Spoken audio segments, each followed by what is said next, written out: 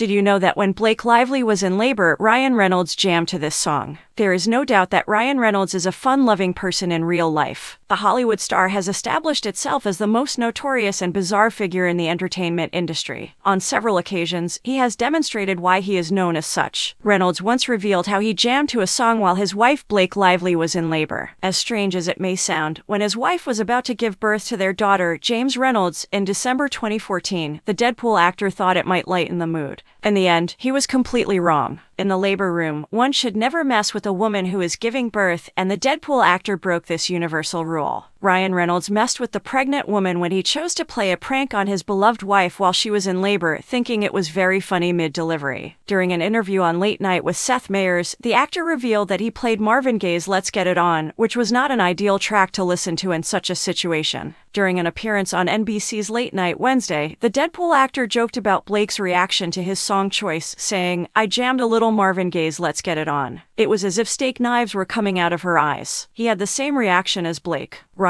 went on to say, like, are you F King S teating me right now? Yes, it's really bad. However, she was a mercenary. I believe I just caught her in the middle of a contraction. It was clear that his wife was not impressed with his DJ skills in the delivery room because it was not the most sexiest or appropriate time for that kind of proposition, and at least one person in the room did not find it funny. Meanwhile, Ryan Reynolds and Blake Lively have a lovely family. The couple has four wonderful children.